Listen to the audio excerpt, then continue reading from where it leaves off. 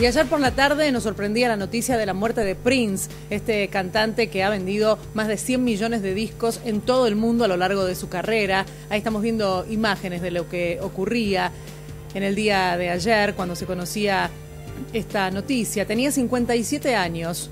Se llamaba en realidad Prince Rogers Nelson. Falleció en su casa en la ciudad de Minnesota. Había sido internado en un hospital hace seis días.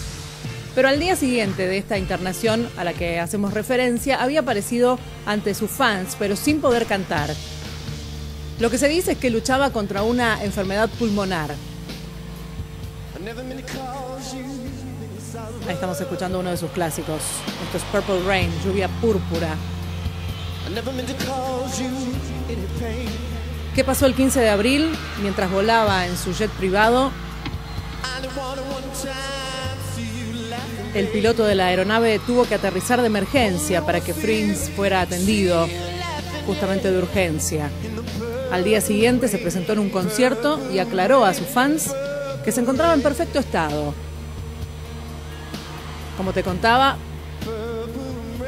vendió más de 100 millones de discos en todo el mundo. Editó 45 álbumes desde el año 78. El último fue Hit and Run Phase 2 en el año 2015.